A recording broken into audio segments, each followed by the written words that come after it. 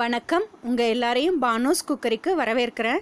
இந்த சேனலை இதுவரையும் சப்ஸ்கிரைப் பண்ணாதவங்க இந்த சேனலை சப்ஸ்கிரைப் பண்ணிவிடுங்க பக்கத்தில் இருக்க பெல் பட்டனையும் ப்ரெஸ் பண்ணிவிடுங்க என்னோட நியூ அப்டேட்ஸ் உங்களுக்கு உடனுக்குடனே கிடச்சிரும். இன்றைக்கி நம்ம சவுச்சவில் ஒரு கூட்டு எப்படி செய்யலாம் அப்படிங்கிறத பற்றி பார்க்கலாம். அதற்கு தேவையான பொருட்கள் நான் ரெண்டு சவுச்சவ் எடுத்திருக்கேன். ஒரு தக்காளி மூணு பச்சை மிளகாய் சின்ன வெங்காயம் ஒரு பத்து. தேங்காய் ரெண்டு துண்டு தேங்காயில் இதை மாதிரி கட் பண்ணி வச்சுருக்கேன். ஒரு டீஸ்பூன் சீரகம் ஒரு டேபிள் ஸ்பூன் கடலைப்பருப்பை அரை மணி நேரம் தண்ணியில் ஊற வச்சு வச்சுக்கணும். சவுச்சவை இதை மாதிரி நல்லா ஃபுல்லும் தோலை சீவிடணும். நான் ஒவ்வொரு காயிலையும் ஒரு ரெசிபி செய்யும் பொழுது அதில் என்ன மருத்துவ குணம் இருக்குது அப்படிங்கிறத சொல்லிட்டு வர்றேன். கீழே உள்ள டிஸ்கிரிப்ஷனில் அதோட லிங்க் எல்லாம் கொடுத்துருக்கேன். அதை பார்த்து பயனடைஞ்சுக்கங்க. அந்த வகையில் சவுச்சவோட மருத்துவ பயன்களை பார்க்கலாம். இது நரம்பு தளர்ச்சியை போக்கி நரம்புகளை கட்டுப்படுத்தும் ஆற்றல் கொண்டது. இந்த மாதிரி சவுச்சவை பொடியாக கட் பண்ணி வச்சுக்கணும். ஒரு குக்கரில் சவுச்சவையும் ஊற வச்சு வச்சுருக்க கடலைப்பருப்பையும் எடுத்துக்கிட்டு ஒரு மூணு விசில் விட்டு வேக வச்சு எடுத்துக்கணும். மஞ்சத்தூள் கொஞ்சம் உப்பு தேவையான அளவு போட்டு அரை கப்பு தண்ணி ஊற்றி மூணு விசில் விட்டு வேக வச்சு எடுத்துக்கலாம். உயர் ரத்த அழுத்தத்தை குறைச்சி உடம்ப சமநிலையில் வைக்க உதவுது. கான்ஸ்டிபேஷன் அதாவது மலச்சிக்கல் இருக்கவங்களுக்கு இதை வாரத்துக்கு ரெண்டு தடவை உணவில் எடுத்துக்கிட்டாங்கன்னா அந்த பிரச்சனை தீரும். ஒரு மிக்சியில் தேங்காயையும் சீரகம் வெங்காயம் சின்ன வெங்காயம் சேர்த்து விழுதாக அரைச்சி வச்சுக்கலாம். பச்சை மிளகாயும் சேர்த்து அரைக்கணும்.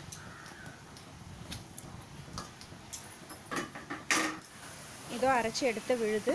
இப்போ அதே மிக்சியில் ஒரு தக்காளியும் போட்டு நல்லா நைஸாக அரைச்சி எடுத்துக்கலாம்.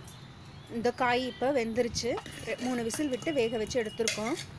காய் சவ் கடலைப்பருப்பு மஞ்சத்தூள் கொஞ்சம் உப்பு தேவையான அளவு காய்க்கு தேவையான அளவு உப்பு தண்ணி சேர்த்து வேக வச்சு வச்சு எடுத்திருக்கோம். ஒரு கடாயில் எண்ணெய் விட்டு காய வச்சுட்டு ஒரு அரை பெரிய வெங்காயம் ஒரு பாதி எடுத்து நான் பொடியாக கட் பண்ணியிருக்கேன். அதையும் கருவேப்பிலையும் போட்டு எண்ணெயில் நல்லா வதக்கணும். உப்பு சேர்த்து வதக்கிக்கலாம். வெங்காயத்துக்கு தேவையான அளவு உப்பு போட்டால் போதும். காயில் நம்ம உப்பு போட்டு வேக வச்சு வச்சுருக்கோம்.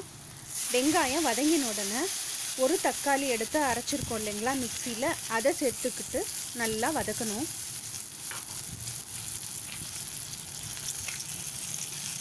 கர்ப்பிணி பெண்களுக்கு கர்ப்ப காலத்தில் வந்து கை கால் வீக்கமெல்லாம் ஏற்படும்.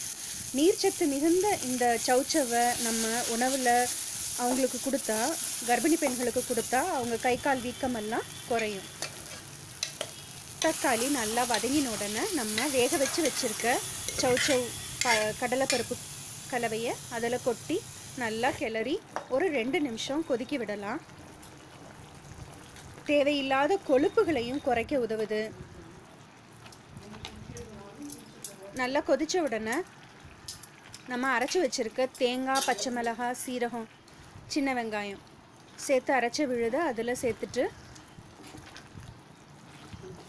இதையும் ஒரு ரெண்டு நிமிஷம் கொதிக்க விடலாம்.